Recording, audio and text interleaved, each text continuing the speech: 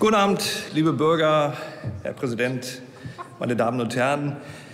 Wir reden über die Gründerkultur. Das ist wirklich ein wichtiges, ein gutes Thema, äh, wie wir finden, denn wir haben ja den Gründergeist. Wir haben ja 2013 sogar eine neue Partei gegründet, weil es die Alten nicht mehr auf die Reihe bekommen haben. Und wir sehen ja heute, das belebt den Markt, den politischen Markt in dem Fall. Also es ist wirklich eine gute Sache. Und so funktioniert es natürlich auch in der Wirtschaft. Ein starker Gründergeist bedeutet eben Aufbruch, Ärmel hochkrempeln, Ideen in die Tat umsetzen. Und das führt letztendlich zu mehr Wohlstand für alle. Und diese Stimmung müssen wir tatsächlich in diesem Land wieder neu erzeugen. Äh, aber das können wir von Merkels Mini-Koalition wohl nicht erwarten, denn die schleppt sich im Moment ja wirklich nur noch müde von Krise zu Krise. Wir müssen über viele Dinge reden. Demografieproblem beispielsweise. Wir haben viel zu wenig junge Leute. Das ist unser Bildungsproblem. Aus unserem maladen Bildungssystem kommen, um salopp zu sagen, viel zu viele Taxifahrer und viel zu wenig Spitzenwissenschaftler. Mit, damit habe ich natürlich nichts gegen die Taxifahrer an sich gesagt. Das ist doch klar. Und die paar Spitzenwissenschaftler die wir haben, die gehen dann auch noch ins Ausland, weil sie dort bessere Bedingungen zum Forschen vorfinden. Die Idee des Antrags ist absolut richtig, wenngleich der Ausgangsgedanke offensichtlich ein anderer war. Ich habe mich etwas gewundert, als ich es zuerst gelesen habe. Ich denke, was Finanzplatz Frankfurt, was mag es bedeuten?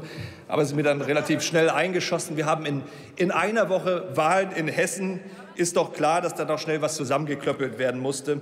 Aber wir haben hier ein Sammelsurium, das uns nicht wirklich weiterbringt. Es ist ein reiner Schaufensterantrag vor der kommenden Wahl, um die eigene Klientel noch mal zu bedienen.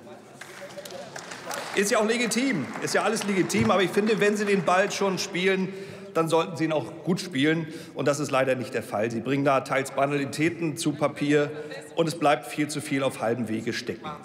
Wir stimmen Ihnen ja in vielen Dingen zu, das ist klar. Es ist wichtig, dass wir natürlich junge Leute in der Schule, im Studium schon für die Wirtschaft interessieren und dass sie vielleicht den Weg zur eigenen Firma finden. Eine steuerliche Förderung von Forschung und Entwicklung ist richtig. Dazu haben wir ja selbst vor kurzem einen Antrag eingebracht. Auch der Zugang zu Wagniskapital ist natürlich von Bedeutung, aber es ist nicht das entscheidende Problem. Das Kernproblem ist vielmehr geeignetes Personal. Das zeigen Studien. Das sind die bürokratischen Hürden und das ist die mangelhafte Verknüpfung von Bildungs- und Forschungseinrichtungen mit jungen Unternehmen. Wir brauchen echt gut gemachte Gründerzentren, die endlich dafür sorgen, dass Innovationen auch in Deutschland in wirtschaftlichen Erfolg umgemünzt werden. Und diese Gründerzentren sind bei uns leider nicht so erfolgreich, wie sie sein könnten unter anderem wegen des Bürokratieproblems. Es sind zig administrative Hürden zu nehmen in Landratsämtern, Gemeinde, Stadtverwaltungen.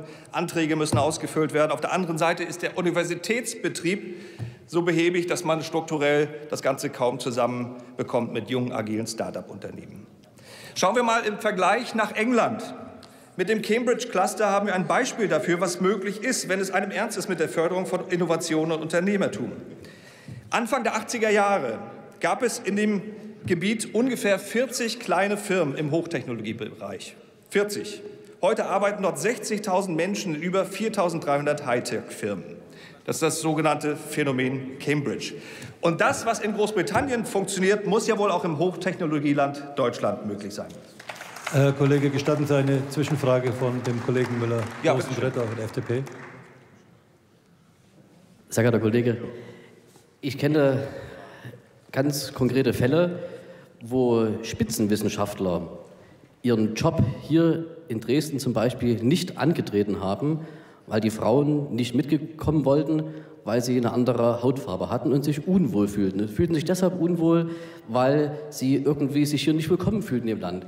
Kann es sein, dass es an Ihrer Partei liegt, an Ihrer ausgereiften Politik, dass Spitzenwissenschaftler nicht zu uns kommen? Das ist ja wohl Eine, eine wirklich sehr, sehr armselige Suggestivfrage, die Sie hier stellen. Und es ist natürlich ein Hanebüchner Unsinn. Es gibt, und damit können wir an dieser Stelle wirklich mal aufräumen, in der AfD keinen Rassismus. Das ist ja wohl eindeutig. Wir kritisieren, wir kritisieren, es ist ja schön, dass Sie es nochmal ansprechen, wir kritisieren Missstände in diesem Land. Missstände, die diese Regierung zu verantworten hat. Und das hat nichts mit Hautfarben zu tun. Das hat was mit illegaler Migration zu tun, die hier stattfindet. Da geht es überhaupt nicht um die Hautfarbe. So, ich wäre eigentlich ganz gerne beim Thema geblieben. Wir wollten über das Cambridge-Phänomen reden. Wie haben die Briten das hinbekommen? Das ist nämlich wirklich interessant. Ein Baustein sind diese Gründerzentren, die eng mit den dortigen Spitzenforschern zusammenarbeiten. Aber ebenso wichtig war die Schaffung eines wirtschaftsfreundlichen Umfelds. Staatliche Regulierungen wurden zurückgefahren, Genehmigungsverfahren bei Unternehmensgründung vereinfacht, arbeitsrechtliche Hürden wurden beseitigt, die Steuern gesenkt, wurde ja auch schon angesprochen, ein wirklich wichtiges Thema. Kurz, es wurde alles dafür getan, dass junge Unternehmen atmen und arbeiten können. Und genau in diese Richtung müssen wir die Weichen stellen. Lassen Sie uns also dafür sorgen, dass Bürgerunternehmen endlich steuerlich entlastet werden. Stichwort Soli abschaffen. Es ist wirklich allerhöchste Zeit dafür. Lasst uns Bürokratie endlich wirklich abbauen, das Bildungswesen wieder flott machen und die Forschung fördern. Wenn die Rahmenbedingungen stimmen, dann kommt der Gründergeist wie von selbst aus der Flasche. In diesem Sinne freue ich mich auf produktive Diskussionen in den Ausschüssen. Dankeschön. Jetzt Kanal abonnieren und nicht vergessen, Benachrichtigungen aktivieren.